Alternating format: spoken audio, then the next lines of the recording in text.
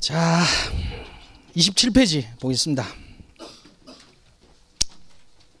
27페이지가 어, 문제가 이거 2012년도에 문제 50점짜리 문제 나왔습니다. 저는 이제 개인적으로 2012년도 이 문제가 어, 솔직히 말씀드리면 관세 평가 50점짜리 바로메타가 아니냐라는 생각이 듭니다. 이런 문제가 저는 매년 나와도 여전히 어, 여러분들의 변별력을 가르는 데는 전혀 문제가 없다라고 생각합니다. 그러니까 구석진 데서 나와가지고 어, 우리 시험이 이제 어느 어느 순간인가 떨어뜨리기 시험이 돼버린 거지 않습니까? 떨어뜨리기 시험이 돼버렸는데 황당하게 구석진 데서 문제를 낸다라는 것도 그건 좀 뭐 잘못된 거죠. 근데 이제 가장 기본적이고 핵심적인 내용을 내는데도 불구하고 어, 여전히 공부를 많이 하신 분들은 어, 쓸 수 있도록 많이 쓸 수 있도록 하고 점수가 많이 나오도록 하는 시험이 맞죠. 맞는데 그런 의미에서 보면 어, 이 지금 2012년도에 나왔던 문제, 그 다음에 2014년도에 나왔던 문제, 문제가 어, 물론 2012년도 난이도가 좀 낮죠. 2014년도, 2014년도 난이도 좀 더 높아요. 거기에는 어, 많은 것들이 할인도 있고 조건도는 사정도 있고 하니까 많이 흩어져 있는데 이제 각종 요소들이 다 포함되어 있습니다. 근데 어쨌든 2012년도와 2014년도는 음, 그 전체적인 문제 지문에서 요구하는 어, 패턴과 하나의 유형들, 유형들을 보면 굉장히 유사하다. 그리고 이런 종류의 어, 문제들은 아마 앞으로 계속 연습을 좀 하셔야 될 것 같다라는 생각이 듭니다. 얼마든지 문제는 꼬을 수 있거든요. 문제는 꼬을 수 있는데 그 내용들 위주로 어, 여기다가 덧붙이는 연습을 좀 하셔야 됩니다. 그렇죠? 그러니까 여기에 뭘 덧붙일 수 있겠습니까? 그러니까 당장 어, 이 문제는 1번, 4번 항목 어, 별 평가 처리를 중심으로 과세가 결정을 논하고 금액을 산출하라라고 이야기를 했습니다. 과세가 결정을 논하라라는 일반국에는 과세가 결정을 논하라는 거 어떻게 보면 뭐 요건에 대한 기본적인 검토도 약간은 있어야 되는데 어, 평가 처리를 중심으로 어, 항목에 대한 평가를 구체적으로 좀 논하라는 이야기죠. 각 항목에 대한 부분들. 그다음에 일반국에 의한 어, 과세 결정은 기본적인 간단간단하게 여기서 이제 사항들이 주어지지 않았으니까 당연히 요건 검토라는 것은 간단한 어떤 법령 나열 정도만 음, 해놓는 수준일 겁니다. 그러니까 여기에 구체적으로 결정 방법에서 과세의 일방법을 적용하지 못하는 결정 방법에 대한 구체적인 논의를 할 만큼 많은 단서들이 있지 않거든요. 그러니까 그런 단서들을 심어주는 경우에는 문제가 좀 복잡해진다라는 이야기입니다. 거래 상황에서 수출 판매나 그 다음에 거래가 배제 사유가 만약에 개입돼 있다라고 하면 그건 굉장히 복합적인 문제로 바뀌어 버리지 않습니까? 그러니까 1번하고 4번 항목 평가 중심으로 과세 결정을 간단히 논한다라는 이야기는 1번, 4번에서 조금 더 양들을 각 항목당 많이 늘리라는 이야기거든요. 그리고 금액은 결과값으로만 이야기를 하는 겁니다. 그러니까 2014년도 문제는 좀 그런 면에서 항목도 많이 늘어났고 어, 그다음에 2015년도 문제는 굉장히 구체적으로 요건에 대한 부분들을 문제에서 적시를 했지 않습니까? 그러니까 거기에 대한 답변 패턴들은 조금씩 조금씩 여러분들이 좀 달랐어야 된다라는 이야기죠.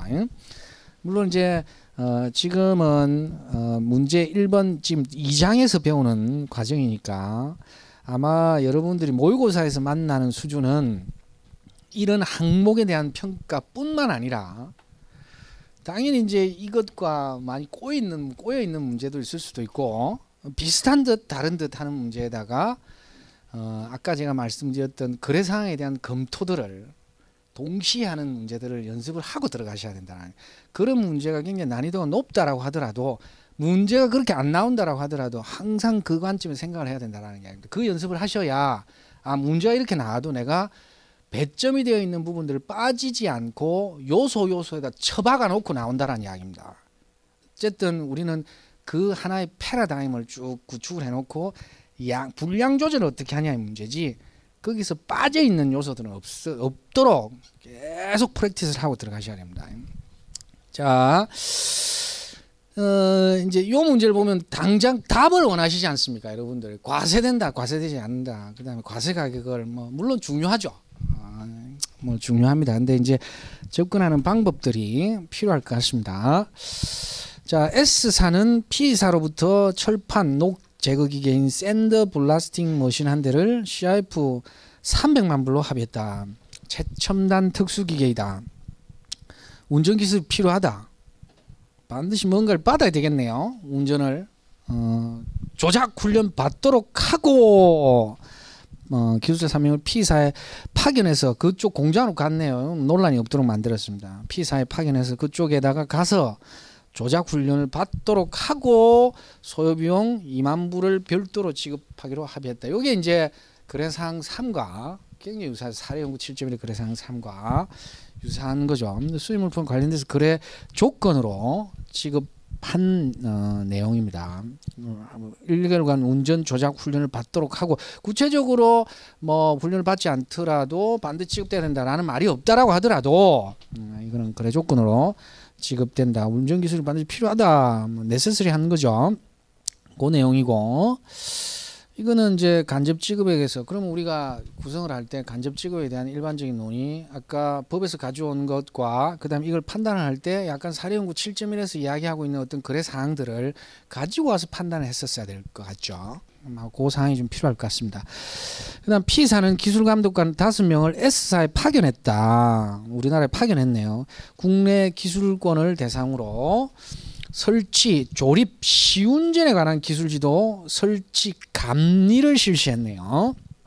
말들이 좀 뭐 어렵지만 우리는 이미 한 차례 겪었습니다. 감리라는 것은 설계도 뭐 원래 사양대로 그대로 수행되는지 여부를 판단하는 게뭐 감리에 대한 데피니션들을 구체적으로 여기서는 할 필요가 없었고요. 뭐 평가적인 문제니까 감리라는 의미 자체는 그런 내용이죠. 그럼에도 불구하고 여전히 어, 국내에서 발생되는 그 재비용 즉 1호에서 이야기되는 공제요소 1호에서 이야기되는 설치 조립 기술 지원과 관련된 비용에 해당된다.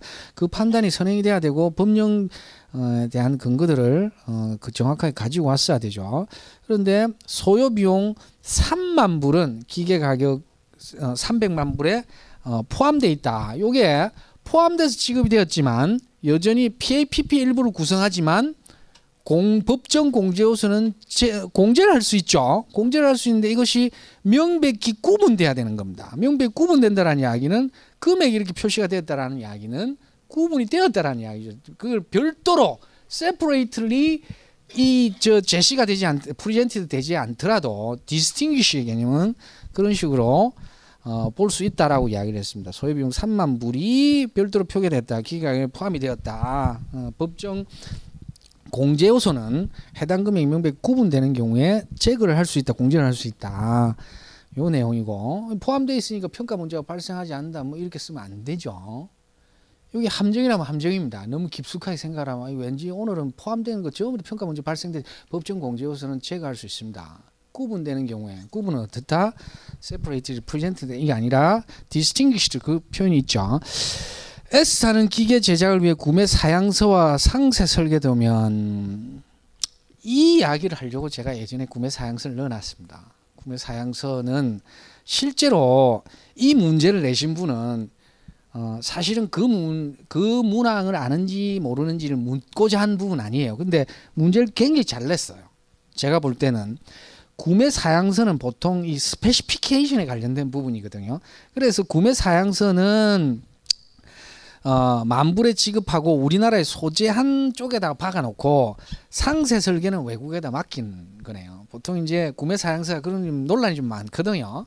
근데 이제 딱 두 개를 이야기를 해놓은 게, 아, 이분이 굉장히 실무적으로 뭔가를 많이 하신 분인 것 같다라는 생각이 듭니다.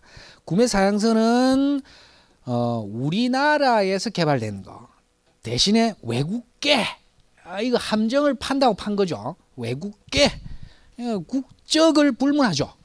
그 다음에 개발이 수행된 장소가 중요하죠. 우리나라에 소재했는데 국적을 불문하고 어, 외국계라고 하더라도 여전히 어, 국내에서 개발된 기술에 해당된다. 그래서 이것은 어, 생산 지원 요소가 아니다라는 거고 그 다음에 상세 설계는 특허를 보유한 제2사가 작성한다. 이거는 이제 어, 넓은 이게 너무 확장을 하면 뭐 권리 사용료로 볼 수 있다. 그래서 생산 지원 취득 비용을 볼 수 있다. 이런 부분 볼 수 있는데 어쨌든 상세 설계는 생산 지원으로 봅니다. 그러니까 요 사망은 우리가 오늘 수업할 내용은 아니에요. 요거는 그냥 넘어가고 어, 사항 보네요. 기계에 대한 최초 가동일로부터 5년의 하자 보증 책임을 P사가 진다. 기계 가격에 이 300만 불에 어, 하자 보증 비용이 포함되어 있다. 이거는 구분이 된다라고 하더라도 법정 공제 요소가 아니죠. 하자 보증 비용은 어, 포함이 물품 대금 안에 포함되어 있으면 평가 문제가 발생하지 않는다라는 이야기입니다. 그렇죠? 간단하죠. 예, 하자 보증에 대한 포함되지 않는다. 이 판단만 하면 되느냐? 하자 보증에 대한 어, 그예 20.1에서 이야기하고 있는 내용들을 좀 가지고 와서 적어야 된다라는 이야기입니다. 수익가 결정을 원하고. 자, 한번 보겠습니다. 문제 제기. 문제 제기는 짧게 했지만 사실은 어, 이 이제 지금부터는 그 연습을 좀 하셔야 될 겁니다. 28페이지에 있는 문제 제기 수준으로 쓰면 3점을 절대 못 받습니다. 절대 못 받습니다. 의 부분은 한 페이지 정도 쓰셔야 된다고 했습니다. 에, 요거는 이제 문제 간단히 전개하기 위해서 적어놓은 거 30조 1항 에, 뭐 나중에 모의고사를 보시면 답안지의 패턴들이 굉장히 유사하게 나올 텐데 어떤 경우에는 좀 더 많이 받고 어떤 경우는 좀 적게 받고 이런 부분이 많이 보실 거니까 그걸 통해서 어, 답안지를 구, 어, 구경하시도록 하고 30조 1항에 대한 부분, 그다음 수출 판매 요건 뭐 네 가지 간단하게 그다음에 여기는 가산 요소도 있으니까 객수 자료에 대한 부분도 좀 적었어야 되죠.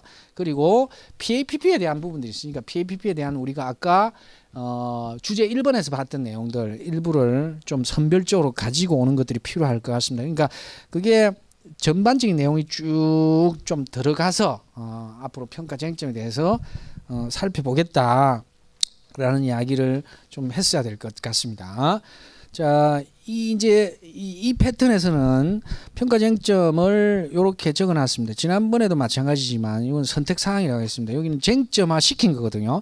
쟁점 사항에 대해서 과세가 결정 방법이 뭔지 요건 결정 방법에 대한 부분들을 간단하게 적어놨고 그 다음에 어, 각 쟁점 비용이 과세가격에 포함되거나 가산되는지 요소에 대한 부분 쟁점 어, 어 1항목, 2항목, 3항목, 4항목을 어, 각각 나눴습니다. 그러니까 어, 이거를 이제 어, 나중에 이제 여러분들이 정리를 하실 때 어, 이제 나중에 이제 10점짜리 문제가 나올 때하고 50점짜리 문제가 나올 때를 구분을 좀 하셔야 될 것 같은데 의 부분은 어쨌든 어, 그저 법에서 이야기하는 내용과 이 묻고자 하는 비용들이 들어있는 관련된 법령들을 한, 한 페이지 정도 정리를 하기로 했지 않습니까? 근데 평가 쟁점은 결국 목차의 문제인데 쟁점 사항에 대해 과세의 결정 방법 결정 결정을 논하는 요건을 간단하게 논한다. 음, 큰 카테고리 하나를 빼지만 비용이 이렇게 열거가 되어 있으면 비용을 1, 2, 3, 4 순서대로 하는 게 여러분들이 기술할 때 가장 편할 것 같아요. 그러니까 항목을 평가를 할 때는 50점짜리는 적어도 50점짜리가 1번부터 6번 내지는 7번 이렇게 항목이 나오면 이제 의 부분은 빼고 평가 판단 부분에서 평가 판단 뭐 해석 부분에서 여기 이제 본론에 해당되는 거지 않습니까? 이게 서론에 해당되는 부분이 문제 제기 뭐 여러 가지로 표현할 수 있을 것 같습니다. 문제 제기라면 좀 더 문제 쟁점을 부각을 시켜서 쓴다라고 하면 답안지 차, 차별화가 많이 되겠죠. 쓸 때 이 기본 요건에 대한 검토는 반드시 좀 있어야 되지 않느냐라는 생각이 듭니다. 기본 요건에 대한 검토가 문제에서 지문에서 묻지 않더라도 예를 들면 수출 판매에 대한 부분, 어, 거래가격 배제 사유에 대한 부분, 어, 그리고 뭐 함지 의심까지는 굳이 가지 않더라도 그 가산 요소는 부분이 별도로 있으니까 그거에 대한 부분들은 간단하게 검토하는 연습들을 항상 프레임 속에 넣어 놓으라는 이야기입니다. 항상 프레임 속에 넣어 놓고 기본 요건에 대한 검토와 쟁점 비용이 있으면 과세가 결정 방법은 한 세 번째쯤 나오죠. 결정 방법. 일방법 채택한다 만다라는 이야기를 하고 과세가 산출을 한다라고 하면 여기에 이제 비용에 대한 평가 처리가 있죠. 비용에 대한 평가 처리가 있습니다. 만약에 요건 검토가 중간에 많으면 요거는 본론은 들어가야 되지만 요건 검토에 대한 부분들을 구체적으로 묻지 않았다라고 하면 아주 간단하게나마 정리를 하는 것들이 정리를 해놓고 가야 빠지지 않고 검토한다. 우리 기본적인 프레임 이렇게 가기로 했지 않습니까? 수출 판매에 대한 부분. 그 다음에 네 가지 거래가격 배제 사유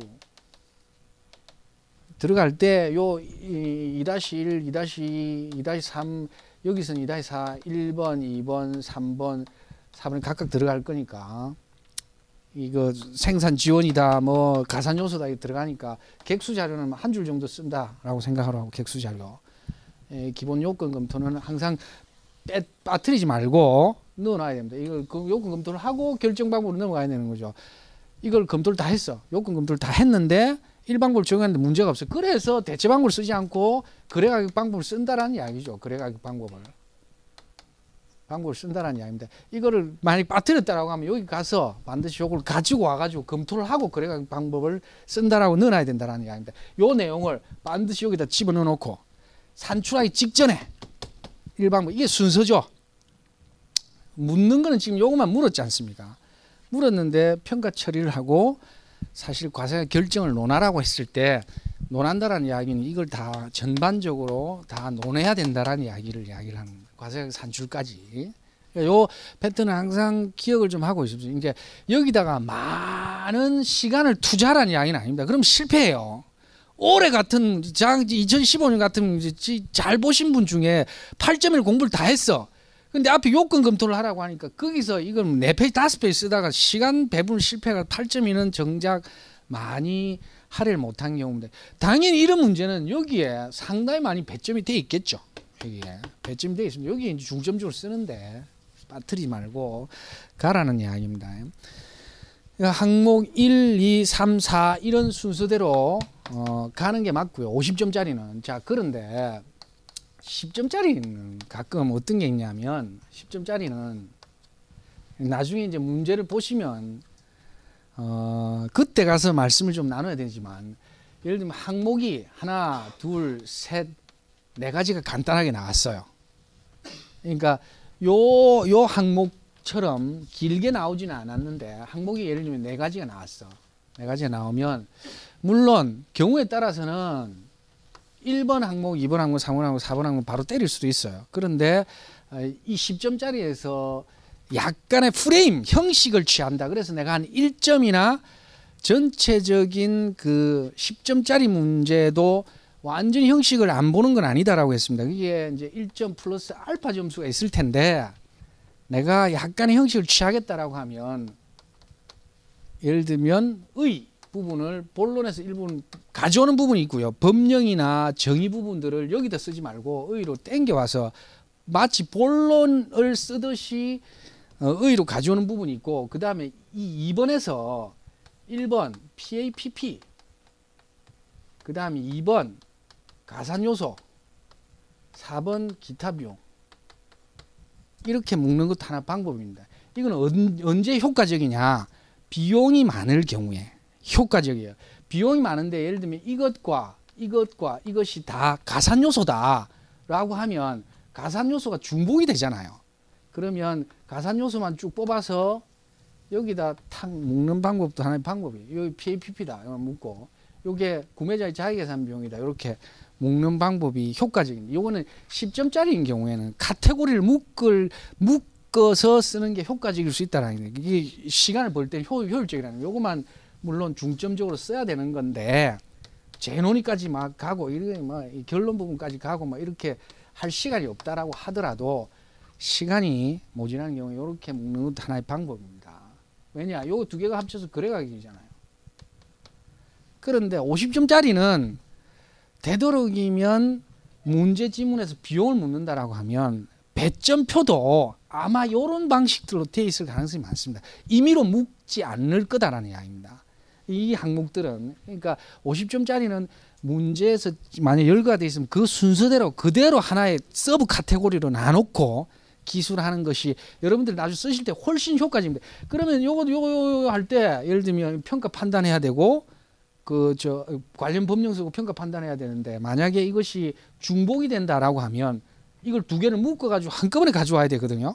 그러면 공 이게 이제 어, 물론 그 해당 비용들을 중복되도록은 50점짜리는 절대 놔놓지 않겠지만 그러면 여기에 판단을 할 때 구체적으로 요구하는 답을 요구하고 섞어 써야 되는데 여러분들 그러면 쓰기에 굉장히 비효율적일 가능성이 많습니다. 그러니까 50점짜리는 되도록 비용 열거가 되면 그 비용 순서대로 되도록이면 분석을 하도록 하고 10점짜리 같은 경우는 이렇게 묶는 방법이 하면 효과적일 수 있을 것 같습니다. 이제 요거는 철저히 그런 면에서 1번, 2번, 3번, 4번 항목으로 어, 나갔어요. 그리고 어, 평가 쟁점은 선택 사항입니다. 요거는 제가 볼 때 여러분들이 다시 이렇게 쓰는 거는 별로 어, 이 본론에 가서 저 2.1을 또 이렇게 해야 되잖아요. 그러니까 이건 선택 사항인데 평가 쟁점 이렇게 쓰지 말고 바로 앞에 의 쓰고 본론 쓰고 여기서 말하는 평가 쟁점, 평가 판단 2, 3은 생략하셔도 됩니다. 본인들이 서론 본론으로 난 바로 가겠다. 이만 이거는 계속 이중 삼중으로 쓰는 거 싫어라고 하면 빼셔도 됩니다. 어, 저도 답안지에는 요즘은 이렇게 나가지 않습니다. 서론 본론 바로 나가요. 서론 본론 나. 이 평가 쟁점을 하니까 여러분들한테 굉장히 고통스러움을 주더라고요. 이걸 다시 열거하는 게. 어, 요것도 이제 귀납법의 방법을 썼습니다. 평가 판단을 먼저 했어요. 이런 삑살이 날 가능성이 많다라고 했죠. 쟁점 1 비용은 간접지에 포함하고 쟁점 2 비용은 공제하여야 하며 3 비용은 실제적으로 가산하지 않되 상세 설계는 어, 가산 요소여야 된다. 4 비용은 포함돼서 평가 문제 발생하지 않는다. 이게 이제 답인데 평가 판단 결정 이유 이렇게 했습니다. 어, 쟁점 1에 대해서 먼저 들어갑니다. 1.1 교육 훈련비에 대한 평가. 쟁점 2는 설치 조립비죠. 이제 패턴을 보면 1.1, 1.2, 2.1, 2.2가 있는데 전부 법 먼저 쓰고 그 다음에 두 번째 패러부터 협정 겹치지 않는 범위 내에서 이렇게 쓰고 1.1을 사례를 분석해서 그대로 적용했어요. 요 패턴을 유지했습니다. 법 쓰고 협정 쓰고 분석했습니다. 근데 이제 요게 유효할 때가 있고 유효하지 않을 때가 있어요. 그러니까 제가 이제 그 이 문제 풀이를 할 때 요 문제를 제일 먼저 풀거든요. 수출 판매는 이제 여태가 나온 적이 없으니까 요 문제 기출 문제잖아요. 이렇게 푸니까 항상 여러분들이 법 쓰고 협정 쓰고 분석하고 법 쓰고 협정 쓰고 분석하고 법 쓰고 이게 좀 이, 이제 어, 이 패턴처럼 생각을 하면 이게 중복되고 어떤 경우에는 뭐 겹치기 쓰고 이런 경우가 많이 발생하는데 요 압박감을 좀 벗어나야 되는데 요거를 묶을 수도 있어요. 1.1과 1.1을 묶을 수도 있어요. 묶을 수도 있는데 제가 이제 요 요 패턴과 뭐 답안지도 계속 유사한 패턴을 나갈 겁니다. 근데 그 이 패턴으로 여러분들이 답안지에다 전부 다 쓸 수가 없 시간에 다 쓸 수가 없어. 쓸 수가 없다니까 요거 요거만 돼도 지금 다 쓸 것 같습니까? 못 써요. 넘치도록 해놨단 말이에요. 요걸 줄여야 됩니다. 줄이는 싸움이에요. 줄이는 싸움인데 이걸 어, 반드시 법이나 협정에 있는 내용들이 판단의 근거가 돼야 되는 건 맞고 이중 삼중 쓰지 않아야 된다는 것도 많은데 반드시 판단의 근거로 적어는 놔야 될 거 아니냐라고 하는데 이거를 버무리는 연습들을 사실은 해야 된다라는 이야기입니다. 근데 제가 왜 이렇게 해놨느냐 근거들은 항상 명확하게 여러분들이 학습을 하실 때 놔놓으라는 이야기니까 과감하게 생각해야 될 거는 조문 이런 거 적지 마시고 예를 들면 법 30조 제2항 각호 외의 본문에 따른 이런 이야기 왜 적습니까? 자, 저 필요 없, 이뭐 의미가 없어. 그 안접 찍으면 필요 없고 수입 물품 거래 조건으로 지급하는 외국 훈련이 포함된다. 적고 두 번째 패러그래프도 사실은 줄여야 되는 거죠. 그거를 하나의 문단으로 만들어야 됩니다. 그리고 이 밑에 그 판단을 돼. 이것도 이중 삼중으로 이렇게 들어가는 것들은 다 줄여야 된다. 그러니까 이 생각들은 늘 하고 계셔야 된다는 법 좋고 협정 좋고 법 좋고 협정 좋고 그거 강박관념에서 벗어나시라는 이야기입니다. 법 협정 없이 개설 풀라는 이야기 아닙니다. 개설 푸시면 안 됩니다. 그 굉장히 위험한 겁니다. 개설이 어디 있어요? 우리 평가 과목에서 개설은 저기 결론 부분에서 좀 하시고 풀고 싶으시면 어, 요 내용들이 중요하다. 요게 뭐 이게 30페이지나 40페이지 한번 보십시오. 이거 다 적을 수 있을 것 같습니까? 자, 이거 지금 요 정도 뭐 되는데 어 실제로 이제 보십시오. 2, 3, 4 이렇게 돼 있지 않습니까? 그런데 실제로 아까 이야기했던 요거 없지 않습니까? 요거 요거 요거 요거 요거 요거 요거 요것도 사실을 넣어야 되거든요.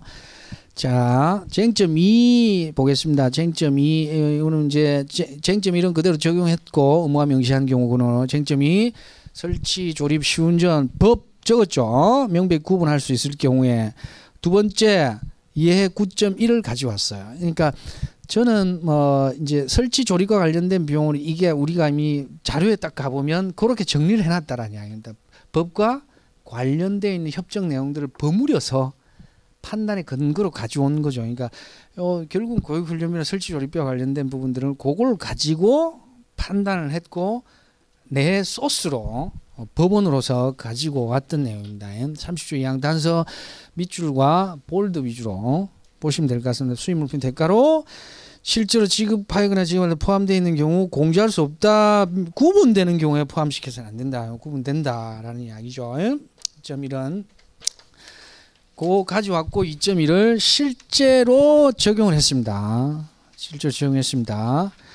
30페이지 소요비용 이제 해당 사례에다 그대로 적용했죠. 법 시행 저 시행령 그다음에 협정 가져오고 어, 맨 끝에 사례에다가 수입 후 실, 어, 수행된 기술 지원 비용 등이 대가를 지급하거나 지급을 구분되는 경우 포함시키면 안 되는 것이다. 예 9.1이 있지 않습니까? 사실은 예 9.1을 앞쪽에 적어놓고 이거를 분석을 하면서 또 가져온 거예요. 예, 이건 이중 삼중으로 사실 적을 필요 없는 거죠. 사실 그것만 딱 생각을 하면 어, 2.1과 2.2의 내용에서 중복되는 내용들은 사실은 어, 좀 줄여서 버무리는 작업들이 필요합니다. 설치, 조립, 시운전에 관한 기술 비용 3으로서 대가 계약에서 공제한 실제적 가격으로부터 구분된다 보내진다 이를 공제수로 보아야 한다. 뭐 밑에는 의미가 없고 계산할 수 없다는 정비를 전제하는 뭐 저저저 있는데 오늘 뭐 의미가 없죠. 쟁점 3 구매 사양서 제작 비용과 상세 설계 도면 작성 비용 법 30조 1항에는 이렇게 돼 있다. 요거는 생산 지원 관련된 비용이죠. 대충 넘어가겠습니다. 예? 법 적죠. 협정에 있는 내용 하나 가지고 왔어요. 개발되는 것 등.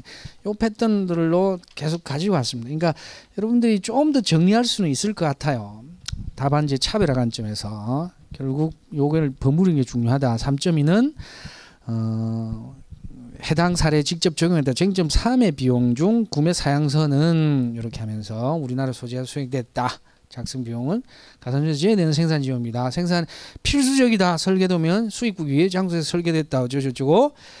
다만 특수한 게 없는 자로부터 요거는 이제 비슷한 패턴을 갖죠. 나중에 생산 지원 비용 가면 요거는 요런 패턴으로 쓰는, 쓰는 게 이제 정형화돼 있죠. 먼저 결정하고 종류가 해당되는지를 결정하고 난 뒤에 금액을 산정을 해야 되죠. 그때는 뭐 특관자 있는지 없는지 보고 이거는 안분 문제를 구체적으로 묻지 않으니까 때는 어, 뭐 생산지원 취득 가격을 그대로 가져왔을 겁니다. 30페이지는 그렇고 4 물품 대금에 포함된 판매자 부담의 하자 보증 비용에 대한 관세 평가 어, 사는 가격이 일부러 이룬다. 판매 조건은 지급될 것이다. 뭐 이것도 30조 이항 난 뒤에 예20.1 부분을 가져온 거죠. 요거는 이제 정확하게 그 사례를 묻는 거지 않습니까? 그러니까 이제 이런 경우는 정확하게 이 표현이 있느냐 없느냐를 물었던 거예요. 30조 이항에 대한 부분인데 어, 판매 조건으로 비용과 판매자 직 간접적으로 어, 부담하는 경우인데 단위 가격이 포함되어 있는 경우에는 가격의 일부를 이룬다. 판매 조건은 지급된다. 구분된다 할지라도 거래 가격의 일부분이다. 별도의 평가 문제가 발생하는데 이게 예 20.1에 정확하게 나와 있는 내용이죠. 그 내용이 들어있느냐 안 들어있느냐 이게 핵심적인 키워드가 그렇습니다. 어, 배점을 할 때 결국 이제 이런 문제를 물었다라는 이야기는 이런 표현이 있느냐 없느냐거든요. 이런 표현이 있느냐 없느냐 가격 일부를 이룬다 조건은 지급되었다 구분된다 하지라도 가격 일부분이다. 별도 평가 문제 발생한다. 요 딱 패턴을 준 거예요. 그러니까 여기서 유사한 취지로 들어 있느냐 안 들어 있냐. 물론 정확하게 모사를 하면 좋겠지만 그 내용들이 결국은 여러분들이 주어진 어, 배점을 다 점수를 획득하는 문제였습니다. 어, 포함하면 지급하고 있으면 어, 20 6조 6항 이유를 적용할 수 있고 거래가 일부러 실질적 가격으로 평가 처리된다라고 했습니다. 과세가 결정 금액 산출 어, 물품 대금 300만 불, 쟁점 비용에 대한 평가 처리 과세가 금액은 1 기타 어, 2 비용 공제 요소 3 가산 요소 가산 이거는 뭐 뭐 하고 그 다음에 쟁점 비용 4 평가 문제 미발생 이거 미포함이 아니고 맨 끝에 별도 평가 불필요 뭐 이렇게 봐야 되겠죠. 포함이 아니라 지금 쟁점 4는요. 과세가 300만 불 더하기 20만 2만 불 빼기 3만 불 더하기 20만 불 음, 해서 319만 불 있습니다. 여기에 어, 과세가 결정 방법에 대한 거래가격 요건에 대한 검토들을 어, 당연히 좀 했어야 됩니다. 한 자락으로 한 자락으로 하고 그 다음에 32페이지 재논의 부분에서는 뭐 이거는 지난번에도 논의를 좀 했죠. 관로 안에 저 박스 안에 있는 건 논의를 했고 어, 답안 작성 시에 각자 선택 사항이다라고 하면서 이거는 적어놨는데 너무 여기에 집착하지 마십시오. 어, 여기까지는 여러분들이 너무 집착을 해서 점수를 받으려고 하시지 마시고 오히려 문제에서 이야기하고 있는 내용들을 더 좀 적어서 어, 적는 게 좀 중요합니다. 여기에 뭐 심판내 미국 일본 사례 공부를 해서 생각이 나면 적는 건 좋지만 어 이렇게 해서 차별화해서 대단히 뭔가 많이 바뀌었다 그래서 공부량을 고치고 확 늘리겠다 지금 그런 무모한 생각을 하지 마십시오. 공부가 돼 있다라면 좋겠지만 핸드북 교육 모듈 뭐 이미 공부를 좀 많이 했지 않습니까? 공부 많이 한 내용들은 관련돼 있는 것들은 결론 부분에 적고 중간 중간 예를 들면 본론 부분에 게 좋습니다. 오히려 이제 요 문제에서는 여기는 정리를 안 했지만 요건이나 결정 방법과 관련된 부분들을 어, 한 단락으로 적는 것들이 사실은 필요했다. 어, 답안지 내용에는 없으나 관련돼 있는 것. 어, 그 다음에 맨 마지막에 해당 사안에 대한 개인적인 생각을 기술하라 라고 해놨는데 이거는 각자 어, 선택 사항입니다. 이거는 하나 넘기겠습니다.